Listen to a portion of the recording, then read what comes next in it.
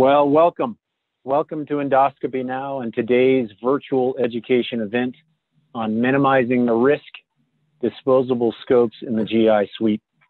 I'm Patrick Hurley, Director of Marketing for GI at Ambu, and I will be your moderator for today's event. Ambu is pleased to introduce today's speaker, Nancy Schlossberg. Nancy Schlossberg is the current program director at Digestive Health Services at John Muir Health and has spent nearly 40 years in GI nursing and has a broad commercial experience having held positions at Olympus America and Advanced Medical. She previously served as president for both the American Board Certification in Gastroenterology Nursing and the Society of Gastroenterology Nurses and Associates. She's been awarded the SGNA Distinguished Service Award in 2003 and the ABC GN Distinguished Service Award in 2012 and the SGNA Gabriel Schindler Award in Clinical Excellence in 2015. Welcome, Nancy. Thank you for taking the time to join us today. The floor is yours. Okay, thank you very much. Uh, hello, everybody. Um, first thing we're going to do is disclosures, a little bit of housekeeping uh, conflict of interest you can see, but once again, uh, the planners disclose no conflict of interest, but the speaker discloses a relationship with the commercial support entity, thereby, thereby declaring a conflict of interest. Fees are underwritten by the education um, funding provided by AMBU, and there's no commercial company support, and there's no alternative complementary therapy. So let's get going talking about minimizing the risks. And again, welcome to everybody. It's one day post election. So again, we can turn our turn our attention to uh, endoscope reprocessing and and the new the new world of what's going on in endoscope reprocessing, single use and disposable endoscopes. So our learning objectives today, and we have three of them. We're going to explain three challenges performing duodenoscopy in the GI suite. We're going to discuss the impact of the FDA in driving duodenoscope advances in the GI suite. And we're going to recognize the value of single use GI scopes in meeting infection prevention challenges in the endoscopy suite. We'll also focus time discussing the duodenoscope a flexible GI scope used to perform endoscopic retrograde cholangiopancreatography, or ERCP. So here are some interesting facts that you may or may not know about endoscopic and ERC procedures and complexity of GI scopes. As you can see, there are typically there's 17.7 million endoscopic procedures performed annually in the United States, Physicians uh, conduct more than 500,000 ERCP procedures annually, according to the FDA. And flexible endoscope reprocessing includes over 100 steps and can take up to two hours to complete. More infections and outbreaks have been linked to contaminated endoscopes than any other medical device. Here's an interesting finding, another one. Duodenoscope contamination poses a risk to patient safety, though the risk of infection is relatively small. In a 2018 international study, researchers found that 15% of duodenoscopes were still contaminated after reprocessing. The FDA further proved a contamination risk exists in the United States from results of a post-market surveillance study, uh, study conducted by Olympus Medical Systems Pentax America, and Fujifilm Medical Systems. The studies found that between all three manufacturers' products, roughly 9% of the examined scopes showed signs of contamination, including 5.4% from high concern organisms such as E. coli and Pseudomonas aeruginosa. Such contamination lingers because cleaning duodenoscopes is notoriously complex. The instruments cannot be exposed to high heat sterilization, and technicians often struggle to manually clean their narrow tubing and elaborate moving parts.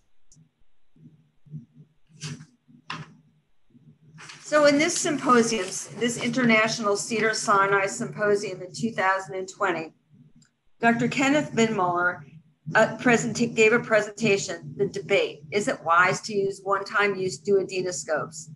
Yes, it is. The key points he discussed in this were Patients are reading about duodenoscope superbugs in the news all the time. The FDA incident MAUDE reports from 2015 to 2019 show an increase in duodenoscope infection related events. 1,115 duodenoscope infections were reported, leading to, to, to 79 deaths, or 7%. The reprocessing problem being is more than just the elevator. There's cracks and deposits throughout the channel, all of which can let bacteria and contamination in. And really, we have to talk about what are the what if costs, what are the health risks of the patients and the staff, as well as the legal liability. What if a patient gets infected? What are the legal ramifications? Patients obviously have to cost us more. Patients stay in the hospital for longer lengths of stay. They get readmitted. And of course, there's the reputation or the bad reputation that you never want to have. Finally, he states that the safety is worth the cost and equates the safety of new disposable solutions to seatbelts and side airbags in cars. So now we're going to set the stage for discussing the three current challenges.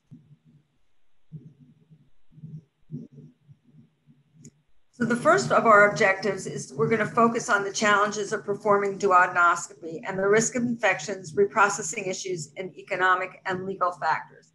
But before we begin, and I always, when I'm working with people, say to them, you're never going to understand any kind of endoscopy or procedures until you understand the anatomy. So once again, here we are. Where does that duodenoscope travel? It travels down into the to the duodenum which is the first sec- section of the small intestine, which receives chyme from the stomach and digestive secretions from the liver, pancreas, and gallbladder. Once again, did you know that? Probably did, that the GI tract is about 30 feet in length from the mouth to the anus, and it can take between 24 to 72 hours for food to complete its journey through the digestive system. We are born without bacteria in our digestive system, and the small intestine is the workhorse of the GI tract.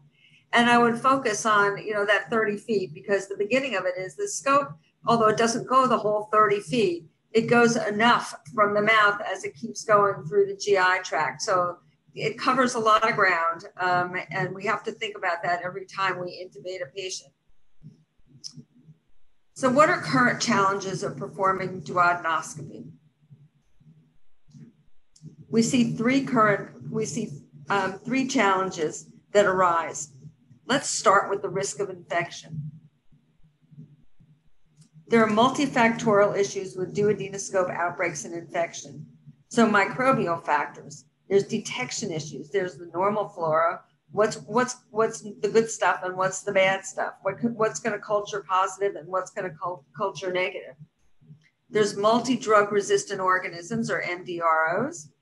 And they are just as susceptible to high level disinfection as other pathogens, assuming we clean things right. Because then there's a resistance to eradication through biofilm formation. And biofilm is, as you probably all know, it's a polysaccharide network that can build up on scopes that are not properly manually cleaned and high level disinfected. And things keep building, building, and building upon it, um, whether you and you can't see it but it's there and it makes it difficult to clean these scopes. And then there are reprocessing limitations. There's a low margin in safety. You got to get it right. We're not sterilizing these scopes. They're heat label, labile, as you know. And so you have to get it right the first time as much as you possibly can. Then, of course, there's um, other, other problems with the automated endoscope reprocessors. Or what's the water quality like? Um, is the is the basin clean. And then very very important are human factors. And uh, again who's cleaning your scopes? Are they properly trained? The scopes of the design of the scopes they're very very complicated. As we know lots of they're covered in you know they're, they're you can't see the insides of them so you can't see the complexity of the tubes and the wires and things like that. And so you don't know what, what kind of a job you're doing reprocessing so damaged, of course, damaged elevators can impede microbial exposure to high level disinfection. And again, the scratches, the divots, the tears in the sealant make it, make it a pathway, a possible pathway for any pathogen to get in.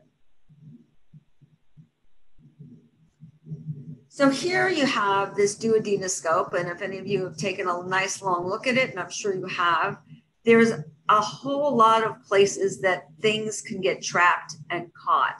You can see the elevator wire over here, and you can see lenses, and there's lots of stuff going on. In these pictures, they've kind of taken apart different bits and pieces that they looked at, and you can see, especially um, that the instrument is, is complex and in A, you see that although it may not look like it because these things are blown up here, in A, you can see the elevator lever, the elevator lever with the brown layer on both sides of the O-rings. That's the patient side.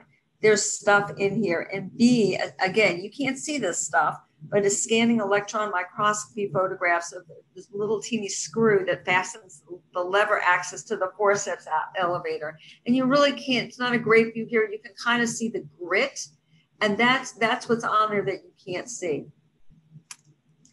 In D is the forceps elevator with a brown layer around the axis hole. In E, there's porous looking a porous looking layer in the recess for the forceps elevator. And I'm sorry, it doesn't quite show up as well in the presentation as like, as we'd like. Um, in F, you can see water, water droplets and you can see uh, in, in G, I think that is very familiar to people. All these other parts are microscopic and you go, uh, you go, well, we don't, really don't see those, but look at that. That's where the instrument, that's the instrument channel. And it's a little bit, loose there's water drip there's water droplets underneath the o-ring in there so it's important again even the most meticulous cleaning is to look at these scopes and see is it loose what are we seeing does it really belong there let's talk about biofilm. I told you it was a polysaccharide network that can build up. Well what does that mean to me? They go that's a whole lot of big words. And it's like i wasn't a chemistry major. That's, that's like what does that all mean? Well, if you think about it, it's like getting super glue stuck in your finger, and that there's a residue even after washing your hands multiple times. And that kind of grosses you out. And it's also, you know, it's the kind of stuff that if you have cut flowers in your house and you leave them around for a while, you get a, a kind of filmy, uh, fil- filmy feeling that's hard to get off. That's right on the side of the vase. So again, you cannot see this if it builds up in endoscopes it's hard and it's hard to remove. Again, it's hard to remove and you can't see it. So it's a double whammy in there. So once the biofilm is formed, the microbes within them can be resistant and more resistant to disinfectants. In fact, the bacteria within the biofilm is up to a thousand times more resistant to antimicrobials than if it was the little bacteria were floating around before they all got together and, and formed that polysaccharide network. So again, hard to clean. And you can look down here and you can see a simethicone droplet in here, and they're just, things are difficult to clean and can build up a biofilm. So let's look at current challenges in performing duodenoscopy, and let's look at the reprocessing issues. What creates challenges here? And I think if you, for any of you who do these, whether you're cleaning them or working with them or doing both, there's in every facility, the teams find themselves pressed between two conflicting demands. The first is for a thorough, properly reprocessed decontamination of every piece of equipment. The second is for rapid turnaround time in order to maintain an efficient workflow of patient, staff, physician, and equipment. So these two goals put reprocessing technicians in difficult positions. You're always weighing that because somebody's always going, could you i need that scope you uh, and but you're going but i want to do the best job i can and there could be over 200 steps to reclaim to reprocessing this this duodenoscope and we want to make sure that it's safe for both the patient and and the physician and the staff who's using it. So staff if rushed may miss critical steps for cleaning or commit errors that they mother, might otherwise avoid and people do it inadvertently. You don't realize when the pressure is on that you that you've omitted something that you really said no it couldn't possibly be me and i couldn't possibly have done it but it can happen and actually when they did when the fda um, had the scope the, the endoscope manufacturers do the post surveillance uh, surveys they found this too that the this human factor here and the demands may be, may be part of the problem of reprocessing these scopes So here are, are you can see some of the reprocessing complications. In a recent survey of nearly 2,500 reprocessing technicians, 40% reported feeling pressure to work quickly. 30% reported that one of the biggest challenges to reprocessing these scopes is that they can't see inside, which is what we were saying before.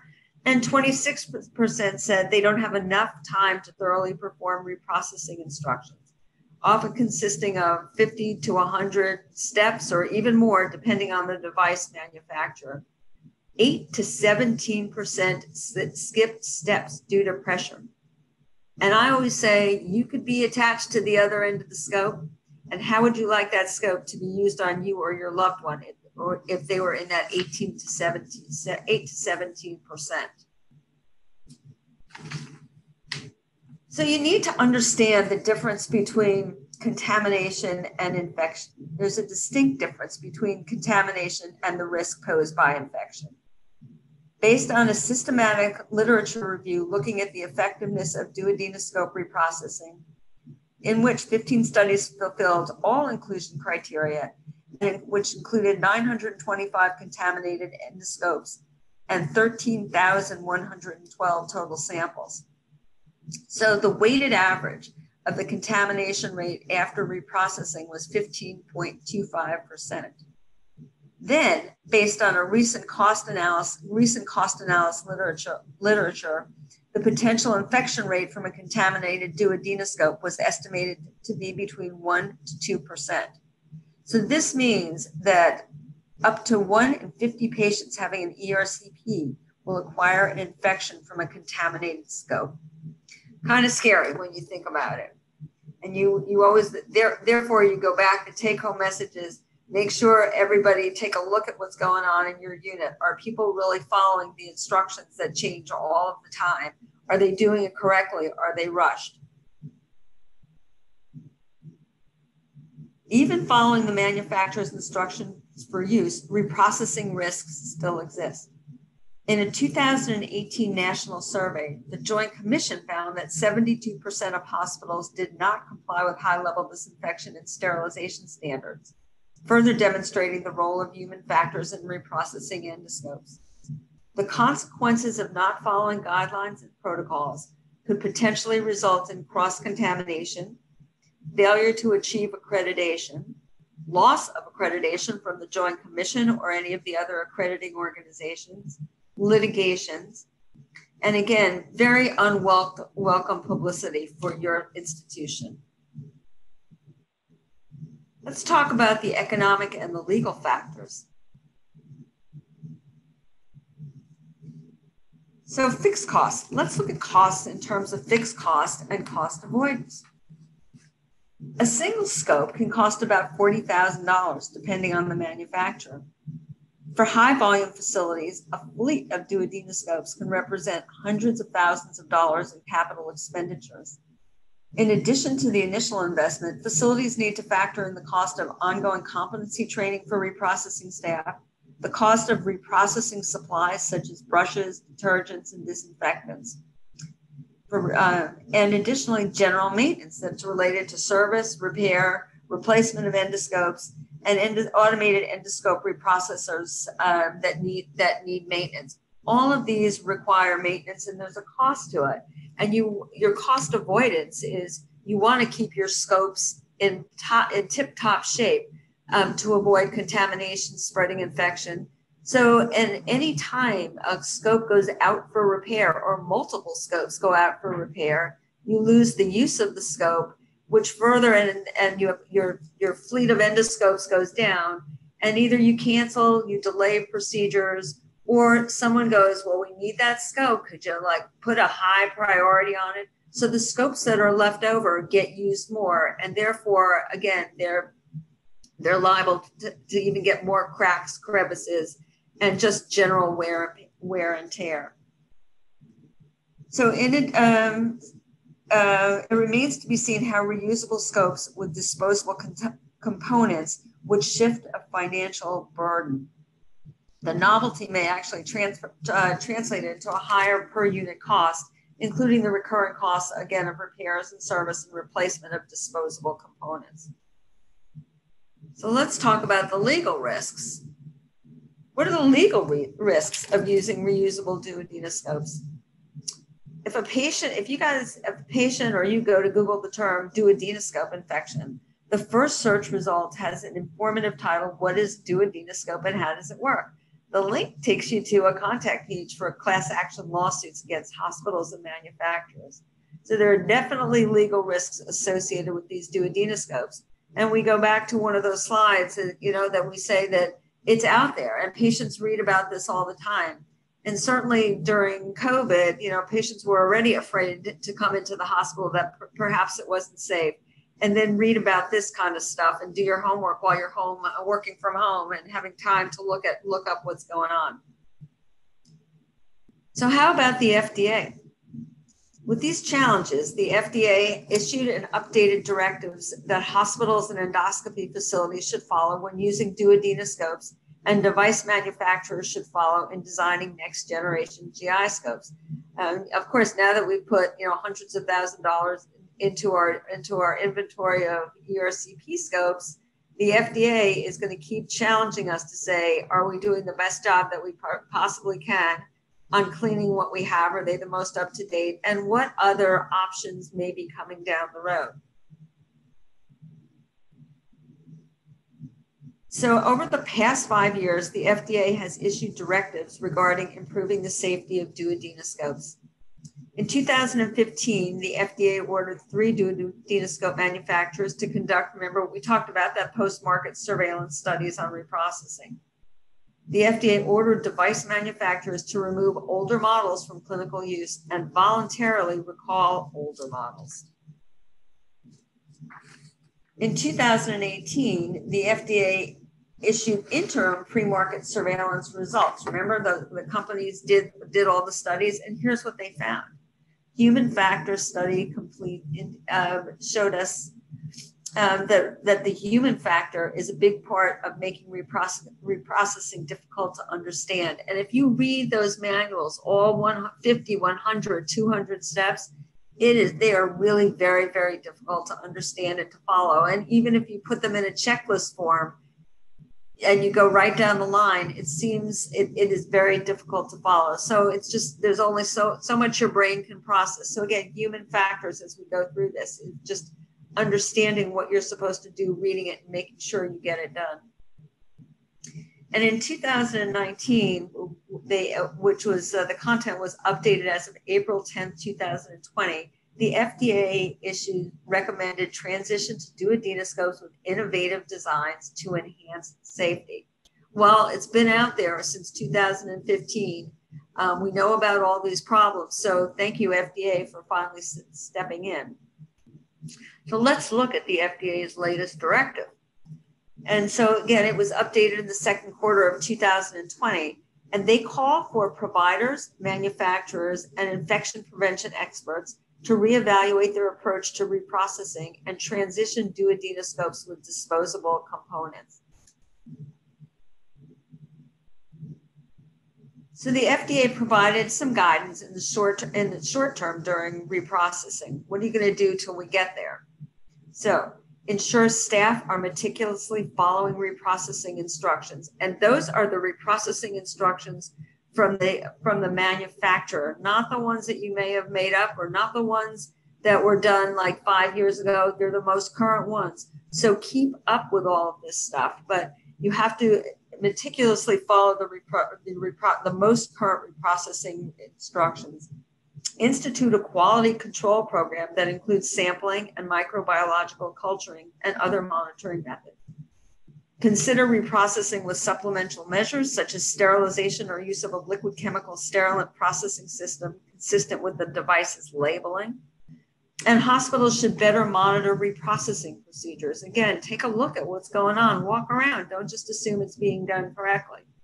Examples here uh, also might include cleaning verification, you know, or you're doing the best job you can after manual cleaning with protein, carbohydrate, blood, and or ATP completion again of manual reprocessing steps prior to high level disinfection and or sampling and culturing using the duodenoscope surveillance sampling and culturing guidance that the FDA provided. So next, the FDA directs the use of duodenoscopes that have disposable components. Keep in mind that while disposable designs may reduce um, be, uh, between patient duodenoscope contamination by half as compared to reusable or fixed end caps, this design may lower but not eliminate the risk of infection. To reiterate Dr. Binmoeller, it's not just an elevator problem. There's all the other stuff. It's not, there's all those, that wire that goes up, there's all the channels going down, there's all sorts of. If you ever get the opportunity to look at the inside of, of any kind of uh, endoscope, you will be amazed what's packed in, especially what's packed in at the tip. So the FDA directs developing a transition plan and work to replace your conventional duodenoscopes with newer, fully disposable models. And again, to reiterate Dr. Binmoeller, the cost of these newer devices will come down because we want more industry partners to develop these. Everybody goes, well, what's that going to cost? So again, everybody is working together with the goal of making it safe and effective and be able to have a quality procedure. So, in summary, as of April 2020, the products that have been cleared by the FDA are reusable scopes, disposable components, and single use scopes. To date, the FDA has cleared six duodenoscopes with disposable components that facilitate reprocessing. Both Ambu and Boston Scientific offer a fully disposable duodenoscope. Fujinon Corporation, Olympus Medical Systems, and Pentax have scopes that have disposable disposable end caps. And Pentax Medical also has uh, offers a duodenoscope with a disposable eleva- a disposable elevator duodenoscope. And check with each manufacturer for, for specific scope models and parts that are cleared by the FDA and weigh out the feature the features and benefits and see and really understand what's going on and as we move forward in this new world so we go back to dr Binmoeller's comment that the cost of these newer scopes will come down and we want more industry part, uh, partners to be working with us but also the centers for medicare and medicaid services has, has approved some type of reimbursement since january 20th cms has provided an alternative pathway for innovative technologies that have received FDA marketing authorization, those ones that I just told you about, and breakthrough devices designation to qualify for a pass through payment.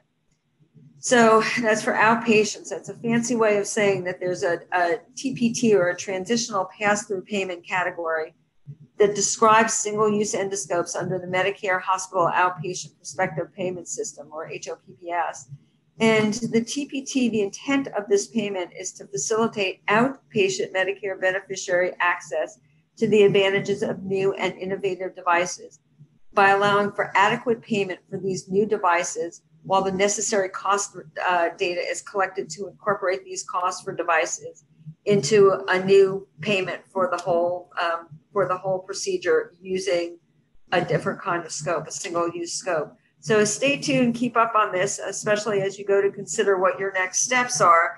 That there is um, that re- there is some there is some reimbursement, and others likely will follow. Hopefully, they will. So, what is the value? Let's just talk about a single-use duodenoscope for a little for a little while. Now that we've covered the FDA directives, we're going to, take a little a little bit more of a look at this. And so, what are the advantages of it? What are the features and what are the benefits? Well, the single use arrives it, all together in a single in a single sterile package that minimizes the risk of endoscope cross contamination. This definitely improves patient safety and the risk of infection. There's no degradation or decrease in performance over time. Remember, I told you when a scope goes out, what you've got left gets used more and more. And obviously, when you put things into high level disinfectant or any kind of chemical and you keep using it over and over again, it it, it doesn't it, it it loses it's not what it was when it was a brand new scope.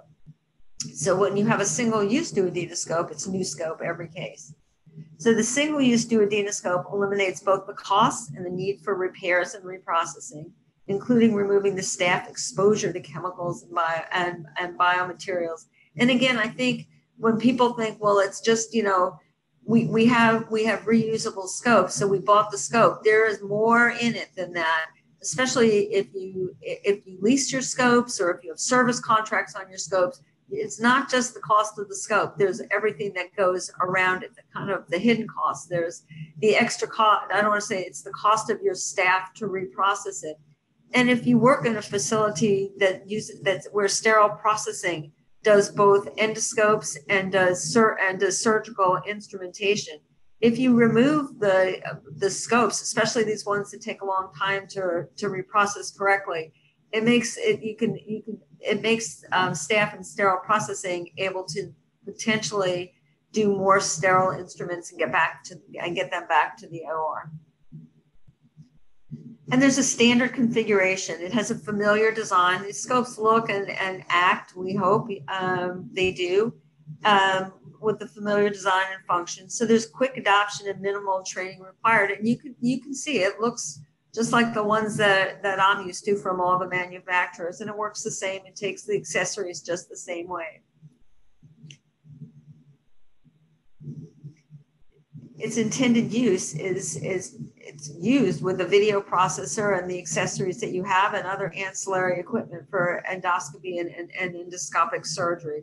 So you can see it plugs in. It's it's pretty familiar. It comes out of the package. It's plug and play, and you're and you're ready to go. There's a high def image, and it produces which has a, a view of 130 degrees. The visualization is, is clear of the mucosa and the anatomical structures. And finally, for people like me who live in California, you go, well, what do you know? What am I going to do? What am I doing here with the landfill and everything else?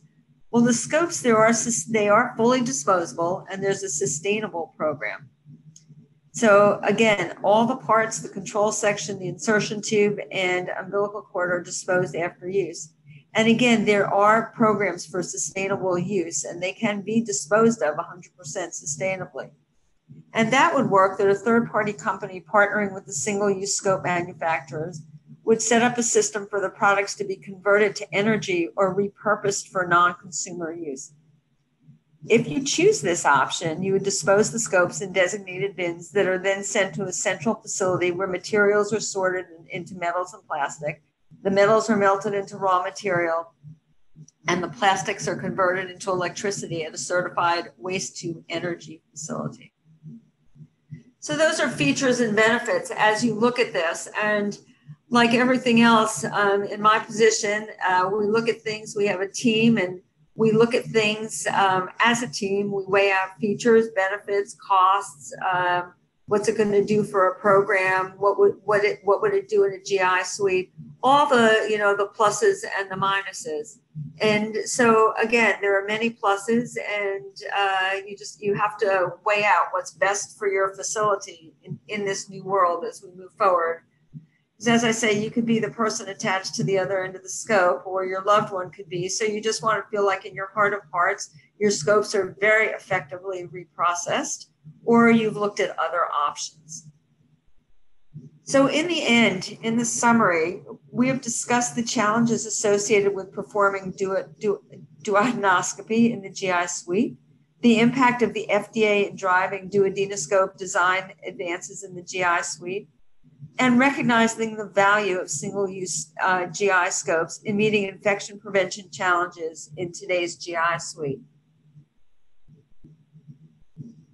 and I hope that was informative. I always say if you take home one pearl from a from any kind of presentation, that's great, and anything that can improve your practice. But I would open the floor for questions, and I thank you very much for your attention. Thanks so much, Nancy. That was great. Um, really appreciate your insight into how disposable scopes can minimize the risk of GI suite uh, in the GI suite. So now I'd like to move into the Q&A portion of the webinar. Um, attendees, if you haven't already done so, please submit your questions using the chat box. And so I'll peruse those and ask Nancy.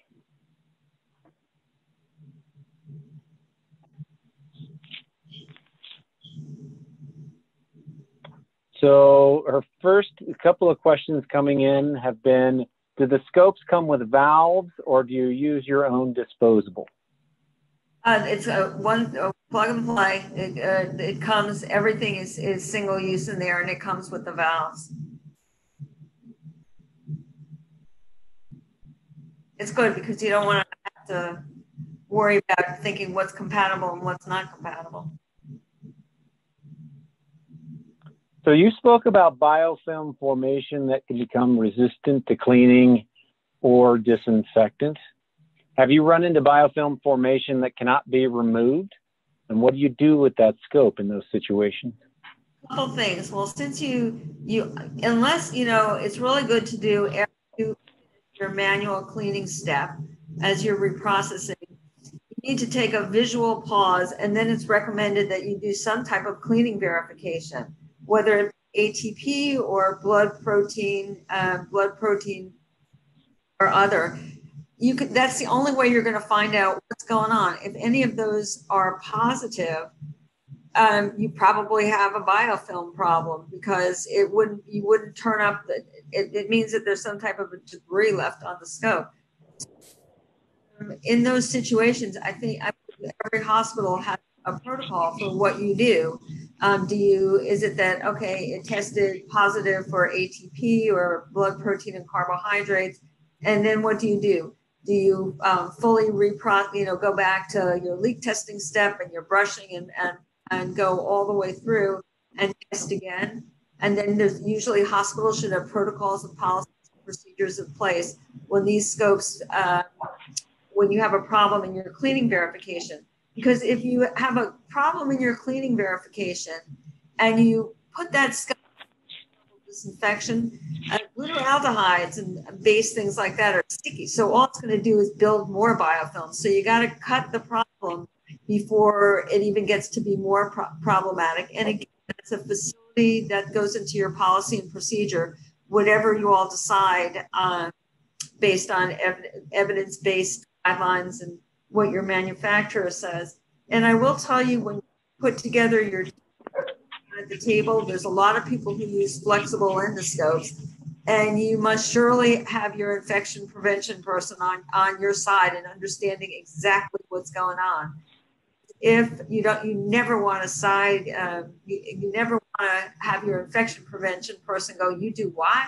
I didn't know this, this and that going on. So institutions, teams are getting together and, and just starting throwing out on the table. And as far as policy and procedure, that would be standardized all the scopes across the entire um, facility. And you would be surprised. Everybody has a little bit different take on things and then come together to develop policy or protocol, especially when things fail. Great. Um, so what about reimbursement for ASCs? We don't charge for equipment like we use, like the hospital can. Well, the hospital actually can't um, for an for an ASC or a hospital. Any of depending on the way reimbursement is. Um, for certainly for outpatient Medic, Medicare patients and the, and those that follow, there's there is a facility there is a facility fee, and that facility fee. So say you're doing colonoscopy with polypectomy. It's easy to look at that one. Um, no matter what, if you're attacking the same polyp, uh, no matter if you have to use three snares and two biopsy forceps, it's all going to come out of that facility fee. It's all bundled. On the inpatient side, uh, it's a little bit different when it comes out of DRGs, and you can sometimes get away get away with charging. But we were talking about this pass-through code just before for the single-use duodenoscope that is uh, that is meant to do exactly um, that so that it's it's going to cover the cost of that if you, of that single use scope. Um, i think that people get very mixed up that when you click on something that you charge for it but that's not exactly true. And it, at, at least for medicare for, for most procedures. And of course depending on how you uh, you negotiate you get what you negotiate not what you think you, you deserve and sometimes it may be that there are certain pieces and certain parts of equipment that will get reimbursed. But again, um, you don't, you know, don't think that just because you charge for it, you're going to get paid for it or that the hospital gets paid for it. They don't necessarily. Excellent. Thank you. Here's another one that has come in. Why has the human factor continued to be the largest issue with reprocessing? Because it's people, and uh, you know, and there's a certain amount. If you look at the, you know, certainly the SGNA guidelines for reprocessing scopes, people, you know, you have to be fair, have to write, under, be able to understand the instructions.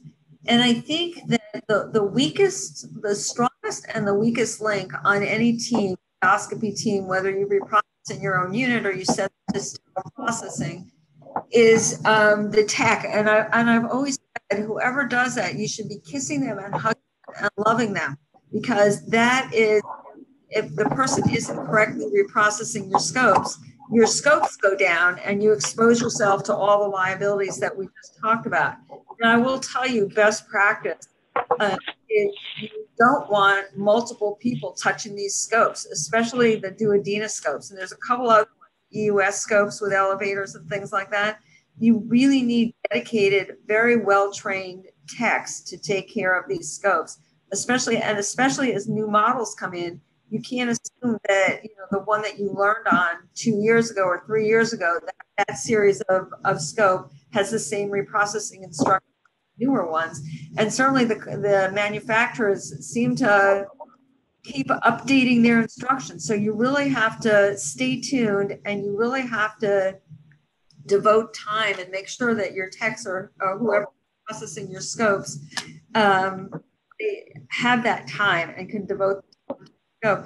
The, the other thing that I, I would just add, um, ask everybody to look at SG infection prevention program because there you get a person who's really going to be into their it's their role and you've assigned them to watch out for all the reprocessing uh, uh, reprocessing going on and making sure that the time is really putting understanding the, the instructions. If you don't understand, you don't have time, you can't do it correctly. So the human factor, until we can put these things on an assembly line, or until again we go back to the value of single use, um, you've got to pay time and attention and love those techs.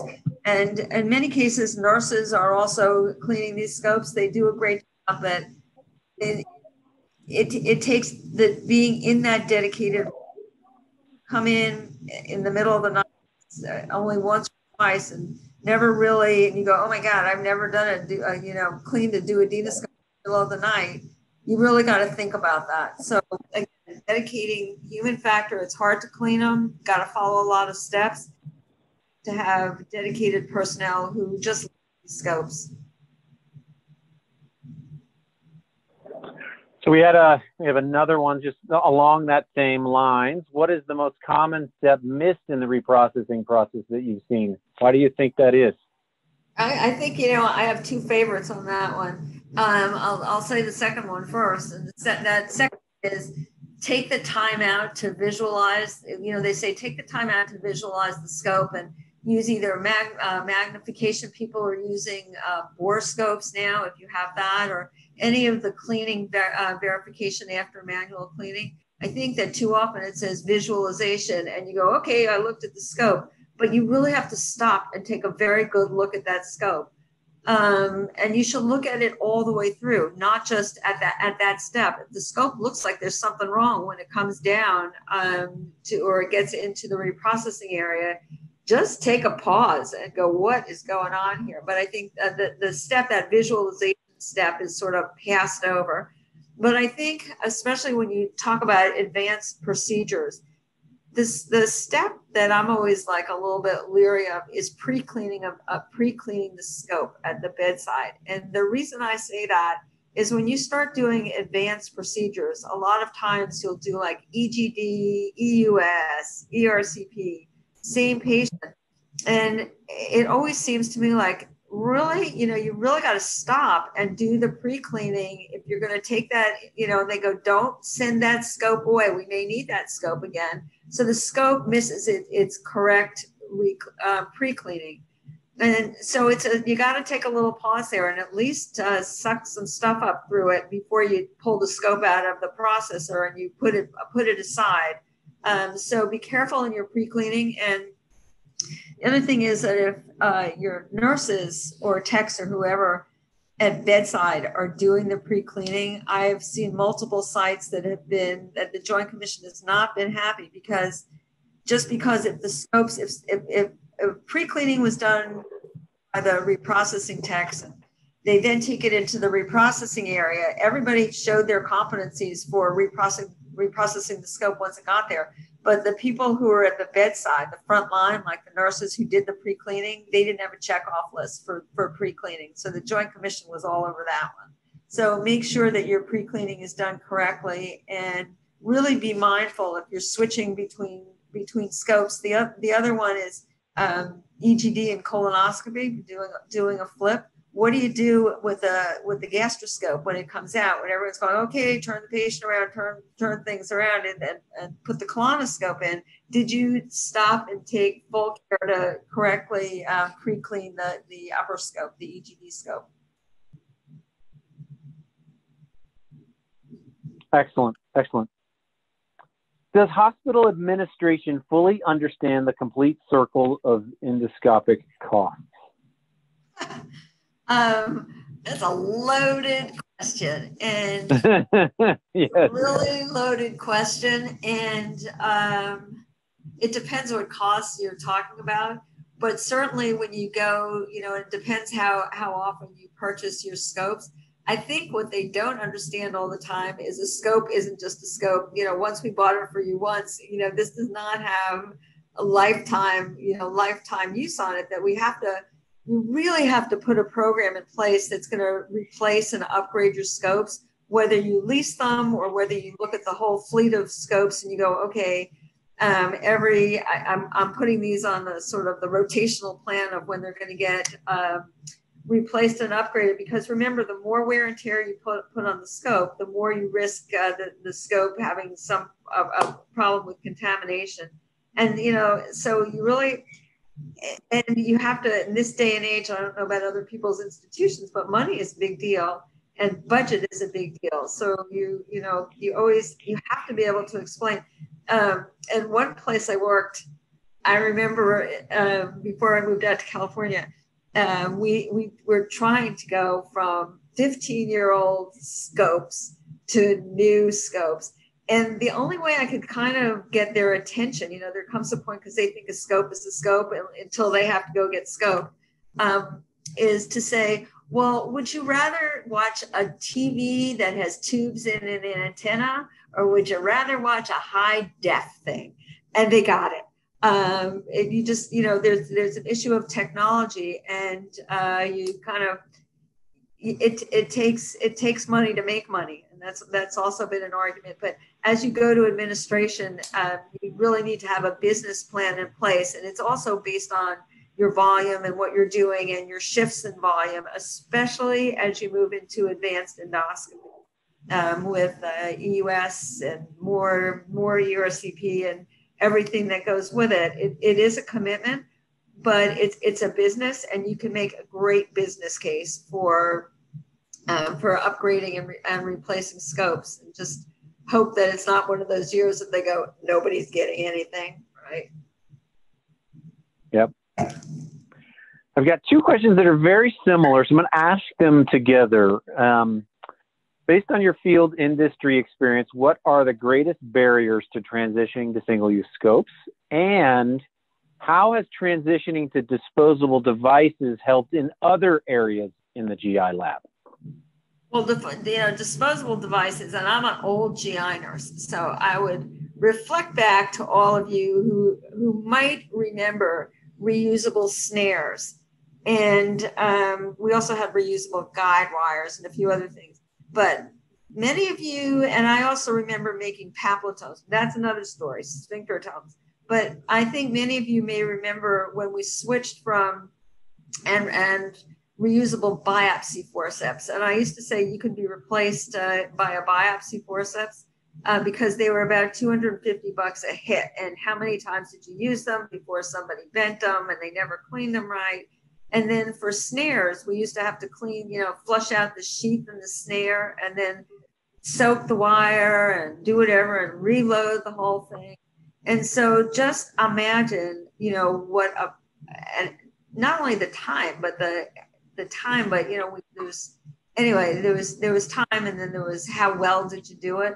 And those biopsy forceps uh, at, at uh, I remember two, maybe it was 350 bucks a pop and somebody had some physician who like ran the biopsy forceps down through the instrument channel and all of a sudden it was a brand new one and it comes out with a kink in it you can't use it again so i just remember it was like heaven going to a completely single use biopsy forceps and um, and snares. So you know you just have to keep up kind of keep up with time and and um, technology. And that was like my transition. And anytime you know when you think about okay well are we going to embark on a disposable or single use um, duodenoscope in, in this case? That again is uh, again a team decision and i would tell you that please please have infection prevention with you when you start looking at these options but you need to however your hospital or your facility does trials you're going to have to trial a few of them. And because the physicians, again, there's all the handling characteristics um, that they think that they're used to. But um, again, it has to be, if you put a tool in somebody's hand, it has to be the right tool. And I think the fear is always, okay, well, I'm afraid that I'm not going to like, that the physician's not going to like using this one and then we're going to have to bring, you know, have a, a regular duodenoscope, and it's going to take a long time, and it's really going to delay the procedure. But again, you know, if you just think about where things are are transitioning to, you gotta like kind of do, I think, do due diligence, and whatever your uh, facility's protocol is for bringing in things on a trial basis, and whoever you work that out with the vendor, I I really do think it's worth it's worth the trial I think that there's, um, you know, multiple pieces involved um, with a trial. Oftentimes, when you put it through the hoops and it gets approved and everybody knows it's there, and it, you know, there's biomed and there's IT and there's, you know, whatever else has to happen. It's it's sort of a process, but I think it's worth sitting down and, and thinking: Is this you know, is this something that we should be forward thinking and we should be taking a look at so that when someone walks in the door and says, gee, did you know that there are single use scopes? And why haven't we tried them? You're one step ahead, especially if you're the manager to just like put it out there. And I always say, document that you put it out there. And then somebody can't come back and go, we really, why didn't we try that? So anyway, that's, it's all on how you work with, with your team. But again, I think this single use stuff um, the, the, scopes, I, you know, again, it's to me, it's like going the evolution of going through re, redoing all of your accessories and the cost and what happens and on the reusables when they when they malfunction um, and all of a sudden everything is in is single use. And you wouldn't think of using anything that's not single use. And if you do just think about how many million steps there are to reprocess it or or, or sterilize it yeah, there's there's there's really just one or two questions which you kind of embedded it a little bit, but let's tease it out with this last one. What's but how do you think single use or disposable options um, will improve current reprocessing issues or minimize risk? Well, it's one and done. You're done. I mean, you know, you you're you're done. Um, you plug it in and. Uh, reprocessing risk certainly it's never getting to reprocessing it's done. When you're done with the patient it, it's done. Um, you know there's always a, a, risk if you're not wearing your ppe and other things of, of any kind of cross not even cross contamination but you still should be wearing all your ppe as if you know it's a it's, it's a scope it's a procedure. We have you know all sorts of things going on in there. So i i do think it's it's, done. As i said um one and done. My my and i'll, I'll just give you a question back that people might be asking is uh, it, it's not a question it's just a comment.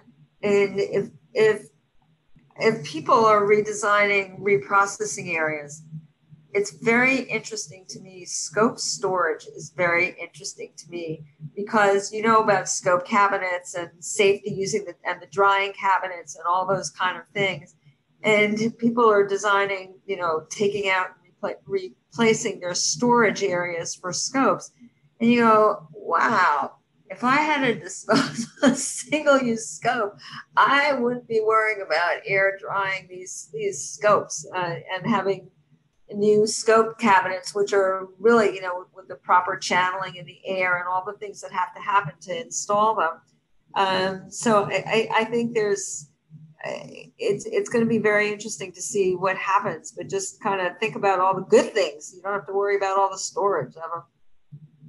Last looks like the last question. Um, maybe one more. How do we dispose of the single-use scope?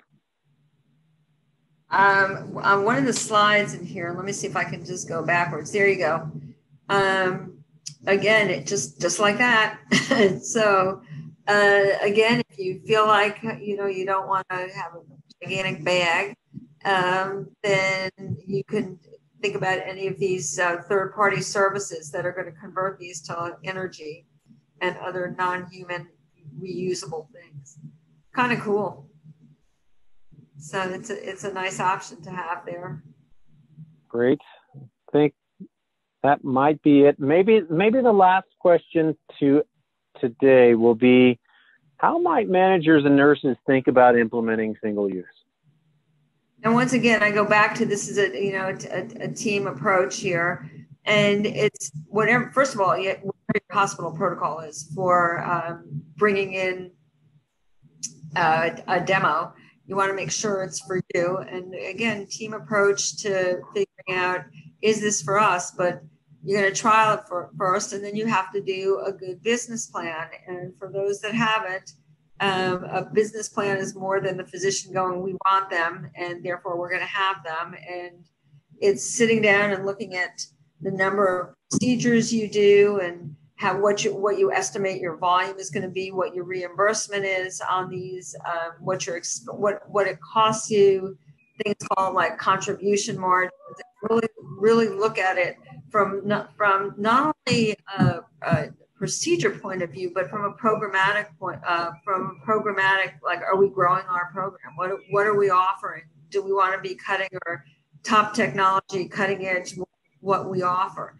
So you have to be a little bit futuristic about it, but it's going to come out of a, a business plan. And um, if you have a business manager, they're very helpful because they're going to ask for all those details. Certainly in a hospital setting, you know, they got certain little things you have to fill in and be accountable for and business plans and things that will help you out with that they're going to ask. But it's uh, you know it's again it's all about it is all about the business and and features there's features benefits there's clinical um, and then and, and from my angle i like to always look i like to be the nurse in all this. And as i said this is the difference between tube tv and high def tv what are the clinical advantages and what is you what would you want to use? And so you have to kind of weigh that out and convince people Hope that answered the question. Well, thank you so much, Nancy. I, I think this this concludes today's presentation and Q and A.